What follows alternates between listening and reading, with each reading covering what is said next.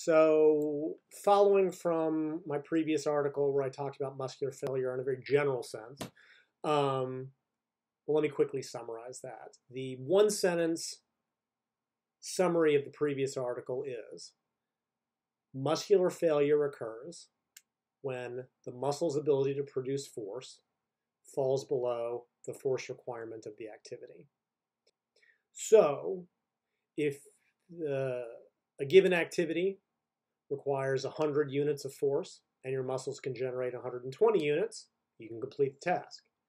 If and when fatigue causes your muscles to only be able to generate 99 units of force, you can no longer complete the task.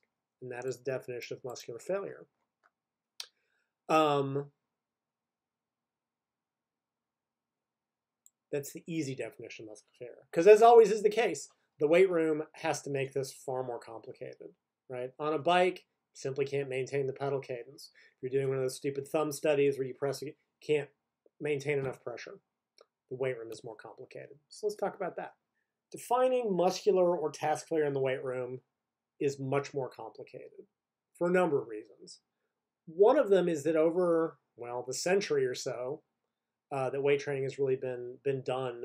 Um, multiple overlapping definitions have been used, and simply saying "I went to failure" doesn't really say anything in the weight room because it could mean one of four or five different things depending on who you're talking to, depending on what definition is being used. Now, this may sound like pedantic nitpicking, especially coming from me, but it's not because the specific definition of failure that you're using can drastically impact on what's being done. And I'll get to this in part three. Unfortunately, I'm, as usual, far too wordy, right? So if you have two people talking about their training and they both go, well, I trained to failure, they're using different definitions, they're having a very meaningless conversation. In a research sense, if multiple studies are using different definitions, and many of them do, that makes them even less comparable than they already are right? We've already got this problem that very few studies do the same thing in terms of the number of sets, the number of reps, the rest interval, the exercises chosen, the training frequency. And then, as I've kind of talked about, when I talk about training, or when I talk about training frequency, when you mix 10 studies that are all different, I think you end up with gray paint when you do a meta-analysis. because nobody is really replicating because nobody will just do what the previous study did to see if the result's are the same. They always use different sets of variables. Clarity matters here, both in a practical sense and a research sense. And this lack of clarity, this lack of standardization, adds another level of complexity to an already complex topic. So let me try to uncomplexify it. And that is that is a word. It is now. As always, let me start with some background, a little bit of what will seem like minutia, but I think is sort of important. Um, first thing you need to realize is that there are three types of muscular actions. There's what is called a concentric muscle action. This is when a muscle shortens under load. There is an isometric muscle action, when a muscle generates force with no change in muscle length. There's an eccentric muscle action, which is when a muscle generates force while lengthening. Now, a couple pedantic notes. Older terminology, they used to call these muscle contractions. There's a concentric muscle, concentric contraction, eccentric contraction. The problem is contraction implies or denotes a shortening. You cannot have an eccentric muscle contraction by definition because a muscle cannot lengthen and shorten. So, some number of years ago, it's probably been a while, they adopted muscle action instead. Second, the technical, strict definition of an isometric muscle action is that the muscle does not change length while generating force. And this isn't entirely true. In the very initial stage of an isometric, uh, there's a little bit of slack being pulled out of uh, the tendon and connective tissue, and there's a little bit of shortening, at which point there is no further shortening. This is just truly a pedantic note, but people love to nitpick my articles, my articles only for these little minor, what they see as mistakes. That's why I cover my ass like this, just to shut the nitpickers off at the pass. Let me finally note eccentric strength is stronger than isometric strength, which is stronger than concentric strength. You can lower more than you can hold, which is more than you can lift. All right, from that, I want to talk about in that there are three types of muscular actions. There are three types of movements we can do in the weight room, right? Uh, the concentric phase or movement is lifting the weight. Muscle shortens. Doing a bicep curl, lifting is the concentric. An isometric, holding the weight. Now, this means holding the weight under load, right? Like if you pause at the bottom where there's no tension in a bicep curl, that's not an isometric muscle action. If you hold it in the middle, the muscle is generating force with no change. So that's just holding the weight. Then eccentric is lowering the weight. The muscle lengthens under load. So in a bicep curl, curl it up, that's a concentric. If you were to lower it to the middle and hold it, that's an isometric. If you just lower it all the way, that's an eccentric. All right. When, for most of what we're talking about here, especially hypertrophy training, generally you're going to see coupled concentric and eccentric actions. You lift the weight, you lower the weight. There are exceptions. Olympic lifters drop the lifts from the top. Some power lifters, after their deadlift, they will drop very quickly with their hands on the bar. It's not really what I'm talking about. So we're talking, I'm really focusing on muscular failures pertains to hypertrophy. So we're talking about combined. Yes, I know there's studies that used only concentric lifting or only eccentric lifting. Generally, don't do that in the weight room, so don't care. The isometric muscle action, whether or not that is present really depends, right? So on a leg extension, right, where there's resistance at the top, lifter might squeeze hard and hold it at the top. That is an isometric muscle action. You are shortening under load. Same thing with a leg curl. In a bicep curl, even if you held the top, like I guess if you really squeeze hard, that's kind of an isometric, but really it would be more holding it in the middle uh, without letting it move. Um, bottom position tricep press down, same thing. You can squeeze at the bottom is kind of an isometric, but uh, I mean it is, but not really in the terms I'm talking about it. End point of a cable crossover, squeezing in the middle, peak contraction. Holding a row in the back, another example of an isometric. You're holding it against load. But these are all situations where that isometric is at a peak contraction, right? So a lot of movements that don't have that, there's really no no bodybuilders or people seeking hypertrophy wouldn't typically do an isometric. So as, a, as an example, powerlifters may do this, right? Some powerlifters will do like a partial deadlift to below the knee and then hold it.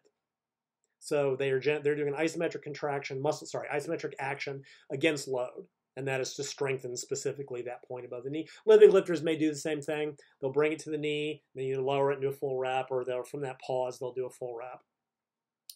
But for hypertrophy training, it's pretty rare. So I'm not really going to worry too much about that. So in as much as that there's three types of muscle actions, there's three types of muscular failure that we can define. Because failure can technically occur during any of those phases. Concentric muscular failure is ability to lift the weight. Now, part three, I'll get deeper into the definitions, the different definitions. For now, I'm just going to add through a full range of motion. So if you start a biceps curl, 100 pounds, can't get past the middle of the movement to get to the top. You've reached momentary concentric muscular failure. Let me reiterate this is not muscular exhaustion. You can put down the 100, pick up a 90, do a few more reps. You don't want to lift that, pick up the 80. This is not muscular exhaustion. Muscular exhaustion would not occur until you could literally not bend the arm with no weight. Nobody trains like that. Almost nobody I've ever seen. We also reiterate failure is only momentary you were to put the weight down, rest 15 seconds, pick it back up the 100, you might do another two or three reps and then reach muscular failure a second time, right? Rest, pause, DoggCrapp, myoreps, whatever you want to call it. So that concentric muscular failure is A, not exhaustion, and B, momentary. Okay, isometric failure would be an inability to hold a weight without moving. So imagine you're doing your bicep curl and you hit the middle and couldn't get through the, the middle point, but then you just held it there as long as you could. And eventually the bar would start to move down again. That would be isometric muscle failure, the inability to hold the weight against load. Very few people train like this. Um, some of the super slow, high intensity training camps used to, to, to do this kind of thing. They're big on what they call inroad, training to maximal fatigue. So when they would hit failure, they would fight against that isometric for five to 10 seconds, and then they would wonder why they were exhausted for a week before they could train again because it's very stressful. I don't generally recommend this. in regular training, it can be a useful training tool, and I'll talk about that and demonstrate this in part four. Eccentric failure would describe an ability to lower weight under control, right? So put a bunch of weight on, top of the bicep curl, more than you could lift, and start to lower it. But you have to be able to control it, right? It doesn't just drop. Usually this is qualified with a lowering time, like four seconds or two seconds, right? So if you're trying to lower it over four seconds and can't, you hit eccentric failure. Um, true eccentric failure might be defined as the total inability to control the weight on the way down, right? Like you start and try to control it and it just drops. You cannot resist it at all. Um, in as much as few go to isometric failure, almost nobody goes to eccentric failure. Exceptions are like dipshit gym bros who live for force reps on the bench press and will keep having their partners lifted up and so until they just can't control it at all. I don't generally recommend doing this. Um, it, it's very stressful. It gets dangerous very quickly. It either requires very specific equipment to avoid getting wrecked or spotters who are willing to put up with your bullshit and lift the weight up until you they get bored and let you crush your sternum. Now, eccentric training can have its role, not failure, right? Sports like powerlifting, super maximal eccentrics are often used, but sporad- very sparingly. Um, my athlete Sumi Singh, powerlifting about four weeks before her meet, uh, will do a single heavy eccentric rep with 105 to 110% of her max.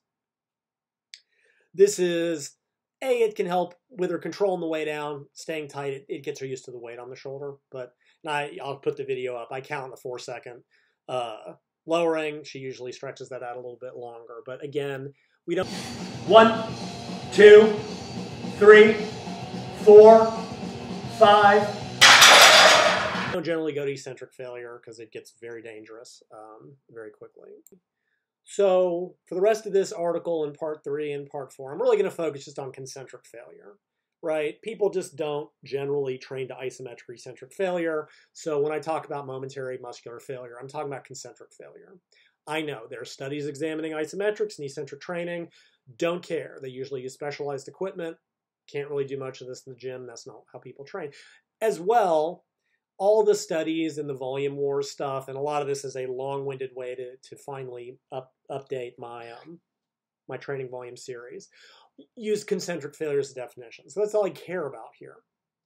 Um, so again, I'm only talking about concentric failure, the momentary inability to lift a weight through the full range of motion. Again, qualify this more in part three. Look at all the different definitions.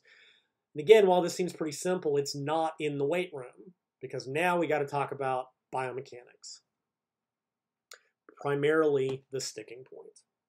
Okay. In a conceptual sense, right, the sticking point of any exercise represents the position in that movement where the force requirements of the activity are the highest relative to force output.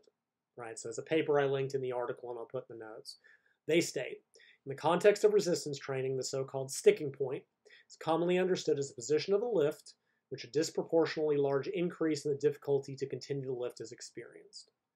Right? And we've all experienced this. When you bench, there's that point in the middle that it becomes the hardest, and then it gets easier as you, same thing with squats, curls, any movement, right? Without getting really deeply into the physics of it, I'll let someone else do it or maybe a further article series. The sticking point occurs when the perpendicular distance between the weight, the, the resistance, and the axis of rotation is the longest, right? This is when the lever arm, which is that perpendicular distance, is the longest. This is where the greatest force, strictly speaking, the greatest torque, because this is rotational, will be required to continue moving the weight. So, image you can see looking at barbell curls, right? What I've drawn is a curl from sort of mostly the bottom through the middle to the top.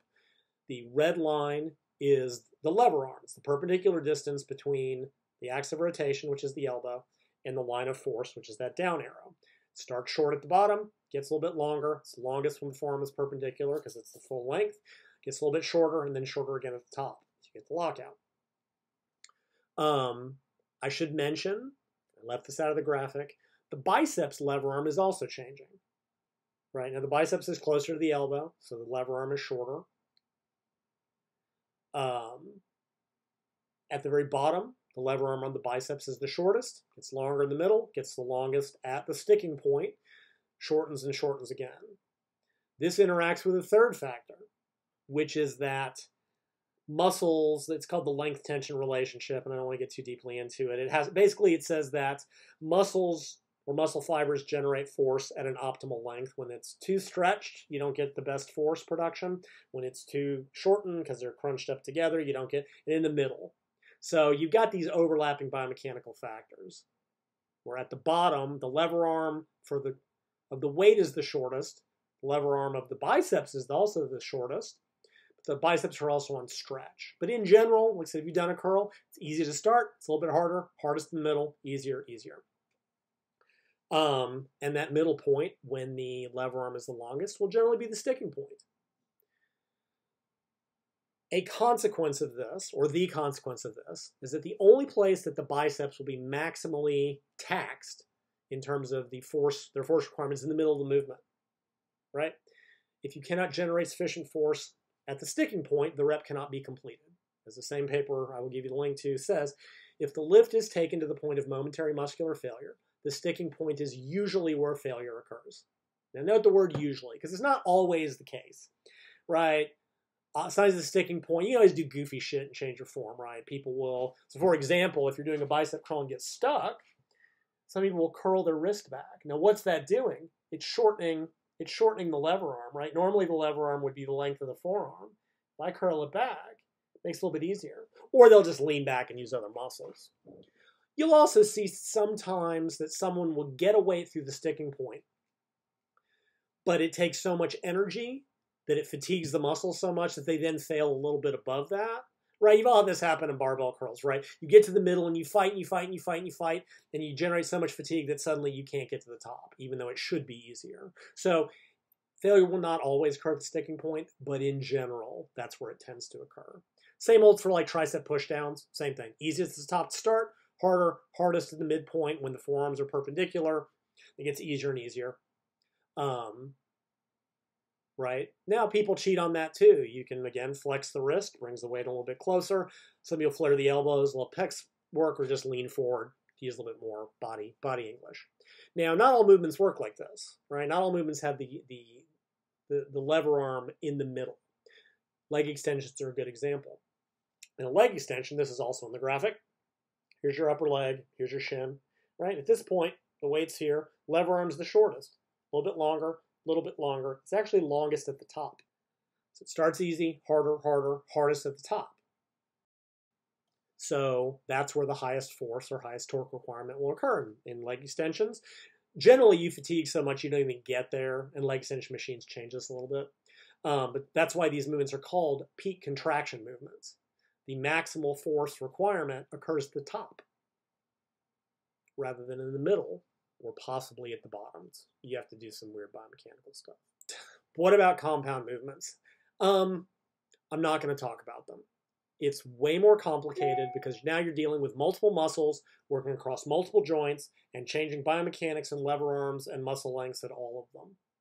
Right? Think about it in a bench press. You've got to change at the shoulders, the elbows, wrist even can move around. You've got the pecs moving from one range, the delts, serratus, triceps, the principle is the same. The sticking point will still tend to occur where the force requirement of the movement is highest relative force production. In the bench, where does it usually occur? In the right, it's when the forearms are, are parallel to the body, right? That's when the lever arm is going to be the longest because it's going to be the length of the arm.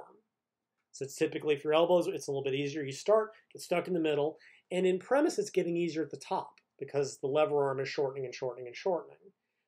But then again, people often get through the middle and don't reach lockout, right? Go to powerlifting meet, a raw powerlifting meet.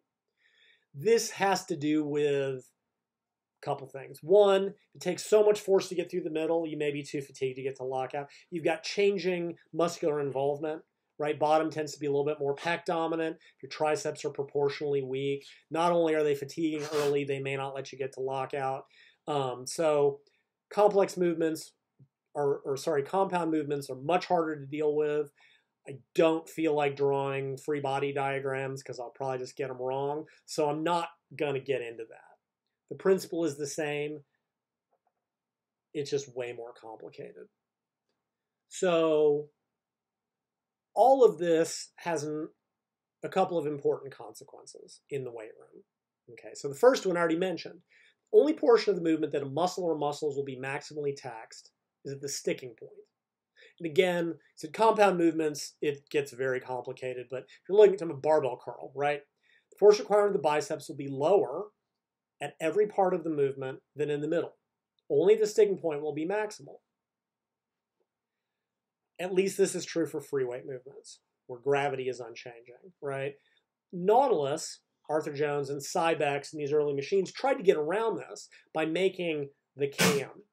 And what the cam was doing with the cable was changing the lever arm from throughout the movement in an attempt to match the force requirements better to the force curve of the exercise. That was the goal. Not going to get into whether it worked or not, but it was altering the resistance throughout. Rubber tubing works very differently here. Um, rubber tubing generates resistance as a function of the stretch squared times k, what's called the modulus of elasticity. So what happens with tubing, right, is the movement is trivial. The tubing is not stretched or stretched very little, and it gets exponentially harder throughout. So tubing may not cause failure to, because may not cause maximal resistance at the sticking point. It gets much more complicated. Like let's say you're doing a tubing bicep curl. There's literally no resistance at the bottom, or almost none. starts to get harder. In the middle, the lever arm is the longest, but the tubing isn't stretched fully. But as you get to the top, the lever arm is shorter, but the tubing is maximally stretched. Whether or not the middle point or the top or whatever will be the highest force requirement, I'm not doing the math. I'm just saying that tubing is a little bit different. And what you find with tubing is once you get past a certain tubing thickness, a movement that is trivial to start physically cannot be completed, no matter how strong you are. You'll do like a tubing chest press and it'll be like easy and you'll just cannot finish because the tubing the resistance is exponential um, other approaches jerry telly who most of you probably never heard of tried to alter the, the, the relationship by having you change your body posture throughout the movement um, it never he never finished his book i had his video It's interesting but it was really impractical in my opinion um, other approaches have been tried uh, isokinetic machines that they use in rehab use computers to sort of adjust the resistance. The harder you push, the harder it pushes back to try to be maximal all the way through. There's these shitty pneumatic machines back in the day that used air pressure, and air pressure is where the harder you push, the harder it pushes back. Um, those are you don't see those very often. I've seen modern computer machines, the gym I worked at years ago, that basically had you do a maximal rep and then it would adjust resistance, but they broke down all the time.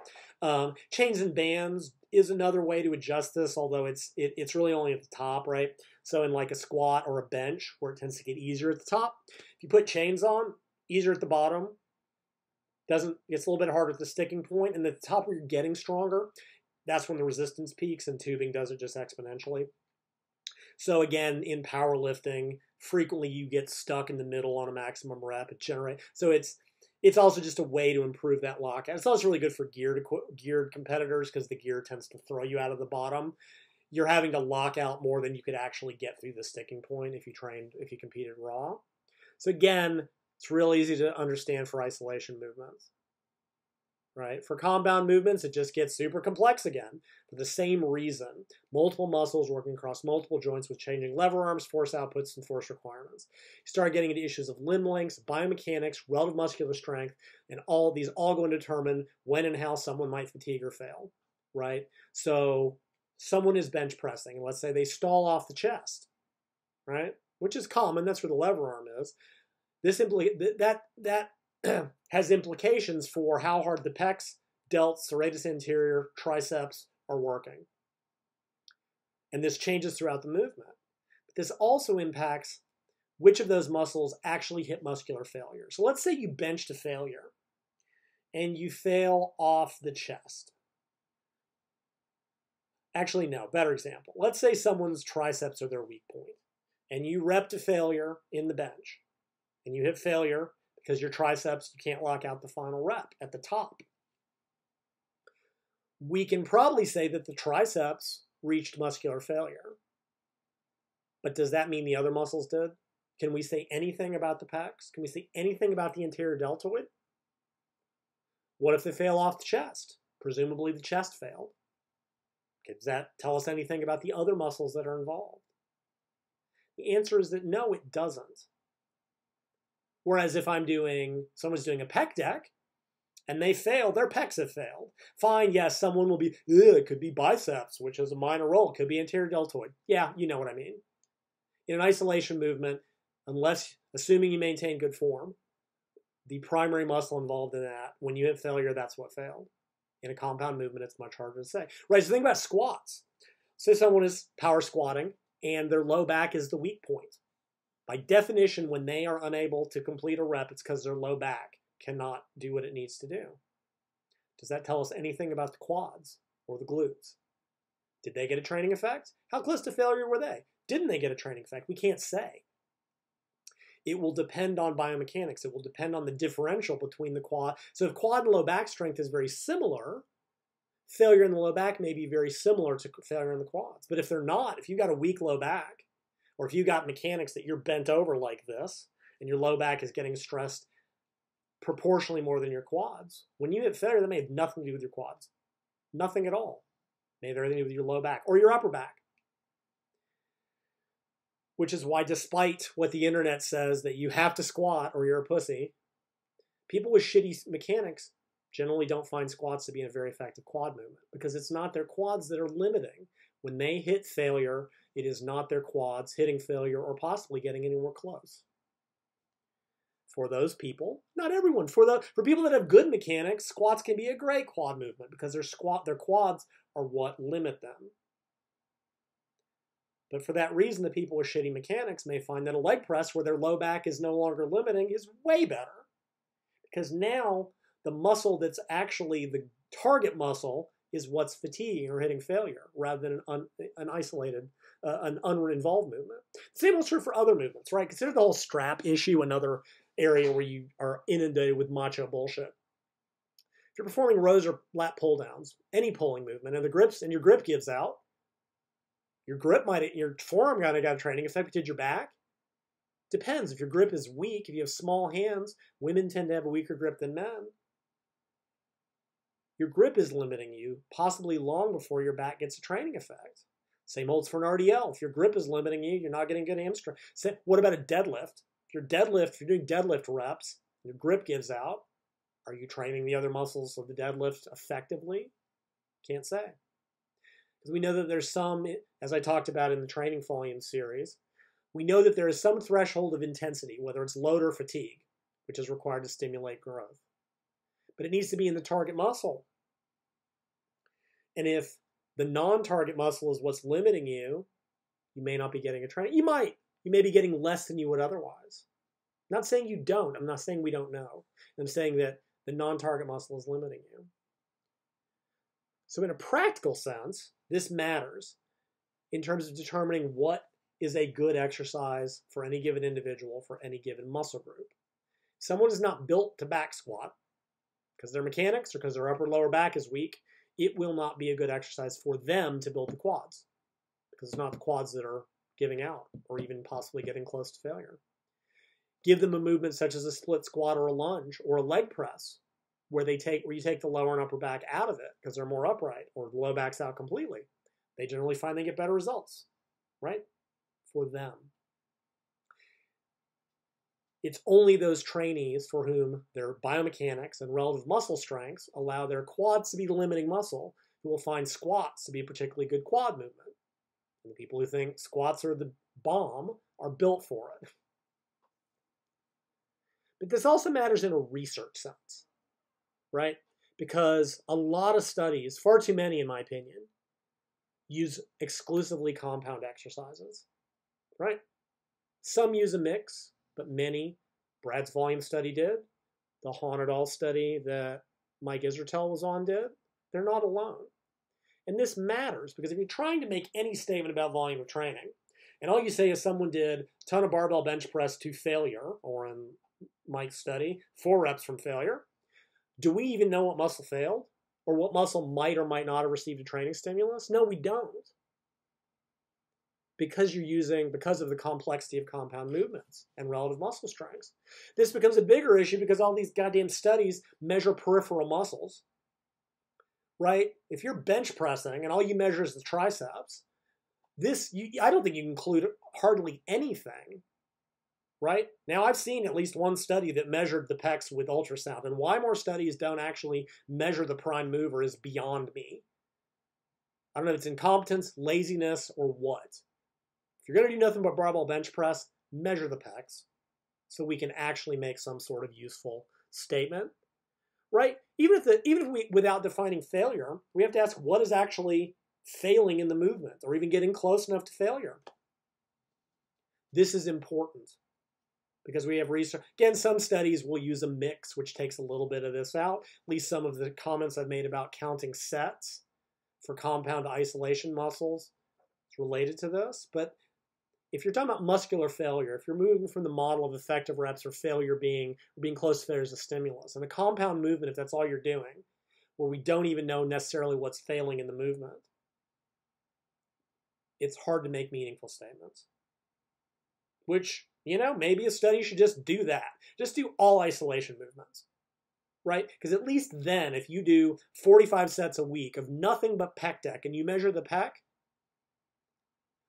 those results might be meaningful. Those might actually tell you something about training volume. But as it stands, doing barbell bench presses to a possibly problematic definition of failure, and I'll talk about that next time, doesn't allow you to conclude much especially when you ignore your statistics. And that's where I'm going to cut it today. That's just the first set of issues in the weight room biomechanics, some physiology, some ranting and raving. Next time, I'm going to talk about the different definitions of failure and why we need to be clear on which one is being used because they're very different.